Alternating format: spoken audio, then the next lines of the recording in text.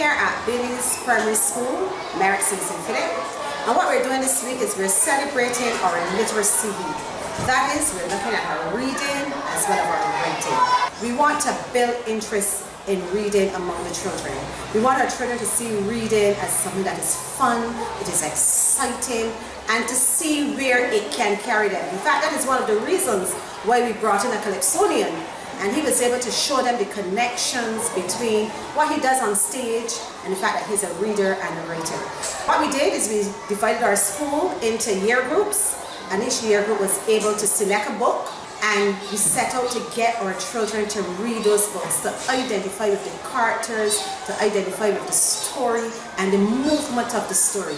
Then one teacher said, let's build a forest, let's have a reading forest. What we have here is probably greater than what we anticipated when we started out. And it was because so many hands came together, so many ideas came together.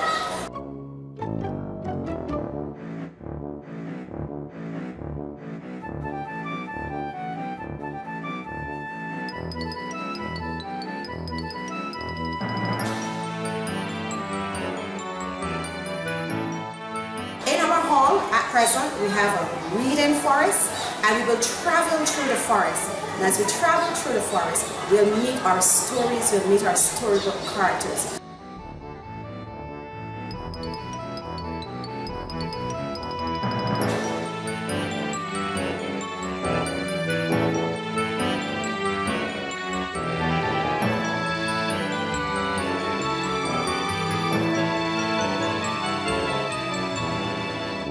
Children will be able to see therefore that books are living, they're alive, they're, they're not just things that are boring where you have to sit. We want to know that at the end of this, our children are reading, they're fascinated by books. We don't want, we don't want to end this week.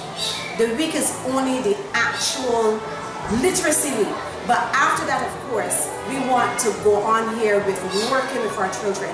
In fact, we were assisted by teachers from other schools we had a teacher here from Terrace yesterday. We had one from Ellerton Primary. We had one from St. Paul's Primary. And what these persons did is they acted in a perpetual way where they were able to work with our teachers to give them guidelines, to show them how they can go back to their classrooms, work with children, and build interest in literacy. So we've had some really, really good sessions here. In fact, we started from our planning week where we invited someone in as well to work with our teachers. So we're not sitting back at Bayley's.